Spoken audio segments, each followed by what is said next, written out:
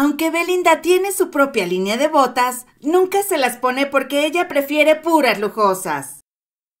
A pesar de que Belinda tiene su propia línea de zapatos, donde se especializa en botas, a la popular cantante nunca se le ve con este tipo de calzado, y en cambio, ella suele presumir otros pares que suelen costar hasta 300 veces más y mismos que le ha sacado a sus enamorados en turno. Aunque la intérprete de dopamina y Zapito tiene una vasta colección de zapatos de todo tipo, las botas han sido un factor común de su vestuario, especialmente las que usa en sus shows y programas especiales y recientemente en la serie de Netflix denominada Bienvenidos al Edén.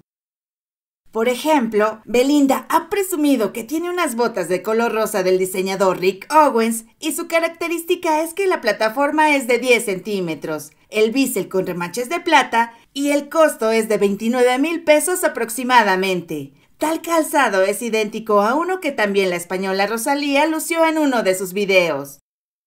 En contraste, la bota de corte militar que lleva el nombre de Belinda y que se vende en una tienda por catálogo no es tan vistosa como las suyas rosas, ni tampoco son tan costosas, pues valen 36 veces menos. Quizás por eso la popular cantante ni loca se ha atrevido a usarlas, pues no van con su clase y categoría. En caso diferente son las botas que Belly Pop lució cuando era parte de La Voz México, y mismas que se menciona fueron las primeras que Cristian Nodal le regaló para quedar bien. Se trata de un par de la marca Philip Lane, están elaboradas con cristales montados en piel, tiene aplicaciones plateadas, puntera, cierre en cada lado, tacón estileto con fino detalle de calavera y varias correas con hebillas y tiene un costo de 68 mil pesos mexicanos. Muy alejadas se encuentran las botas de corte militar de doble cartuchera que Belinda anuncia en el catálogo de la tienda que la contrató, y mismas que nunca se ha puesto para salir a la calle, pues a ella no le gusta lo populachero, ya que el costo de ese modelo que lleva su nombre es 68 veces más barata que sus pares plateados de la marca Philip Plain.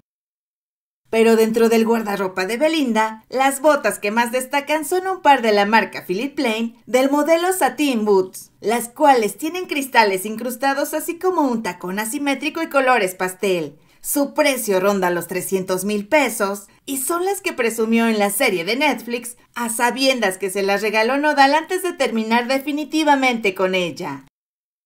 Esas botitas tan simpáticas en nada tienen comparación con las que Belinda anuncia bajo su firma y cuyo modelo identificado como de vestir alcanza tan solo los mil pesos. Y lo que hace ver ridículo tal modelo si se compara con el par que todavía le alcanzó a sacar a Nodal antes de que éste la mandara por un tubo debido a tanto abuso.